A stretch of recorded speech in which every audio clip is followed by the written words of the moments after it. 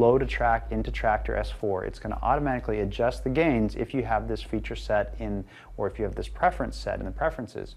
Um, so it's matching up the tracks. But sometimes you might need a little bit of extra push, and that's what the gain encoders are for. So they relatively move the gain to the position that it was set at when you first loaded the tracks into the deck.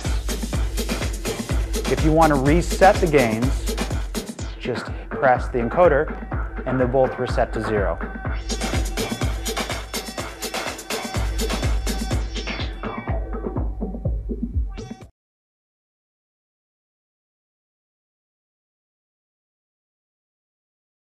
Okay, so now we're going to prep tracks so that they actually mix well. And we're going to deal with cue points and beat grids and loops and go ahead and get things um, working well with each other.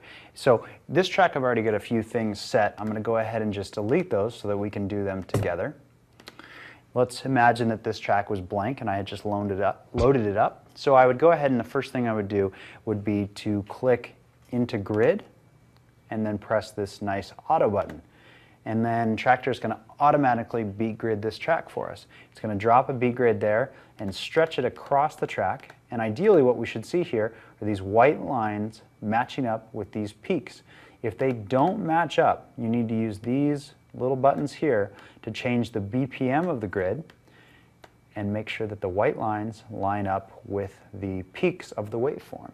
Then what we've got is a very, very accurate BPM for this song so that when we sync that BPM up with the BPM of another song, the sync is as solid and clean as possible. Once you've got an accurate beat grid, you can go ahead and lock that. Then we're going to go back into cue, and using our controller, we're going to set some cue points. So we're going to go to the beginning of the song, that downbeat, and we're going to go ahead and just press button 1. And you can see that button 1 just turned blue. Button 2, 3, and 4, or cue point pads 2, 3, and 4, are clear. Um, that means nothing is stored in those open slots. They're open. And if we go to the next beat, this one's a snare here, I believe, we can go ahead and store a cue point there. So now we have 1 and 2. We can do this on the fly.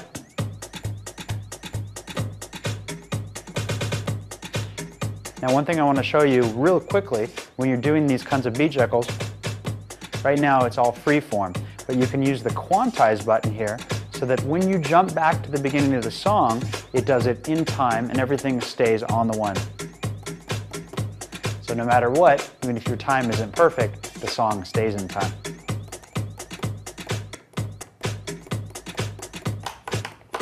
Sounds pretty good, right? I'm to go ahead and turn quantize off because it gets a little bit more funky. Now, let's say you want to set a loop at the beginning. Totally logical. First thing I'm to do is press down Shift and the one slot to clear that slot out. Next, I'm going to use the loop encoder. This is the automatic loop encoder, and I'm going to select the length of the loop I want. You can see here that the display um, displays the length of the loop that you currently can set. I'm going to pick 16, and I'm going to press that encoder to drop a loop, and we'll go ahead and play that see how it sounds.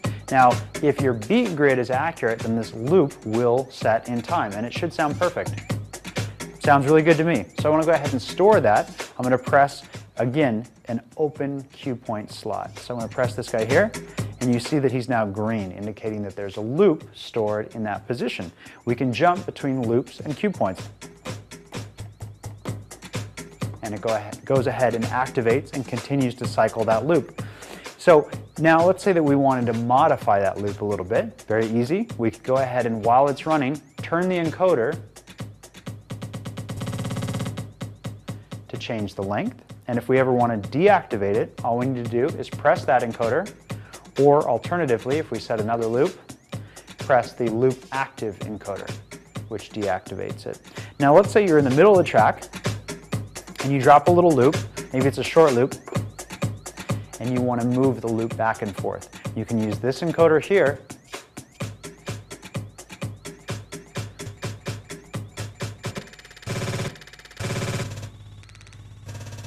go ahead and move the loop around.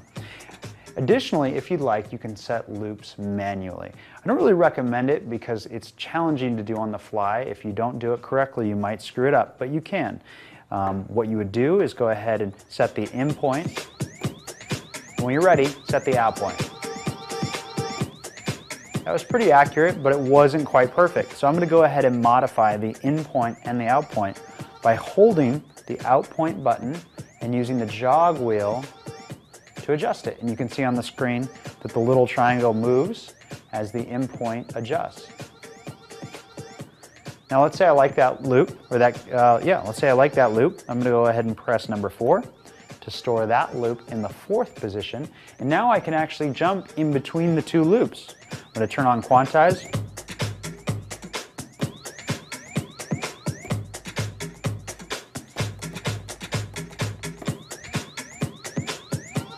Actually want to grab that vocal, so I'm going to clear that loop, deactivate that guy, and set a new one, and lock him. and create a little bit of a a little bit of a cue point juggle routine on the fly. It's actually really easy to do with the Traktor S4 and if at any time you just go ahead and clear out all of those cue points and start over fresh.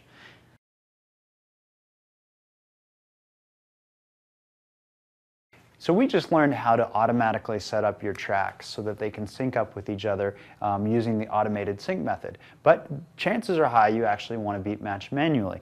And Traktor S4 is actually really good for that. That was one thing that was really important to me, that the jog wheels be of high quality, they'd be easy to use, and the pitch faders are nice and long so you can manually adjust.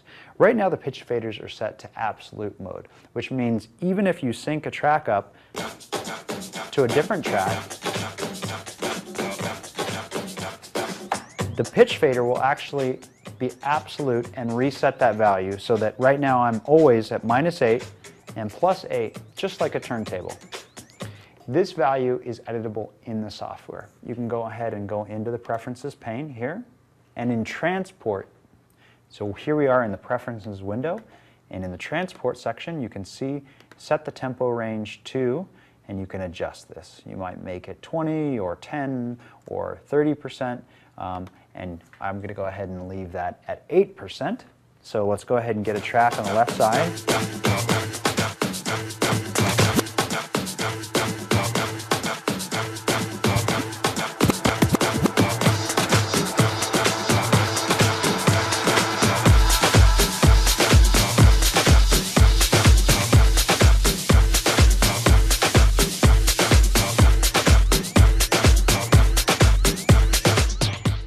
So you can see it takes a little bit longer, but you can get a pretty accurate sync manually on the fly. It's off a little bit, just make a nudge. And if at any time you want to cheat a little bit or you just don't have the time, you can go ahead and hit sync. And if your beat grids are accurate, they'll sound good together. If they're not accurate, they might sound off like that one just did. To fix that, what you can do is manually adjust it, switch to grid, unlock this, and now you actually want to move the beat grid using this button here. Actually, it's this guy. And we're going to move the beat grid until this line is dead center because that line was showing the offset between the dead sync position and where I actually moved the track. So now, if we do the same thing and we hit sync, they should be lined up perfectly.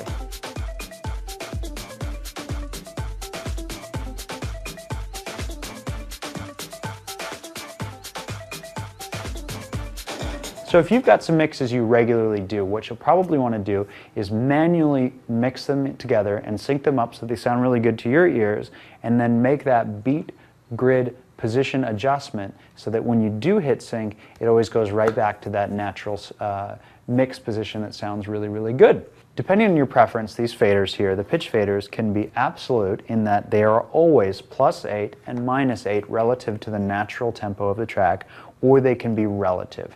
Uh, in other words, if you hit sync, um, it's, the fader position is then relative to the new uh, tempo that that track is at. Let me give you an example by going into the preferences window first, and we're going to change that setting so that the faders are now relative. I personally prefer relative so that I can use sync to get myself close and then make further fine-tuned adjustments. This is done in the Traktor Kontrol S4 preferences window.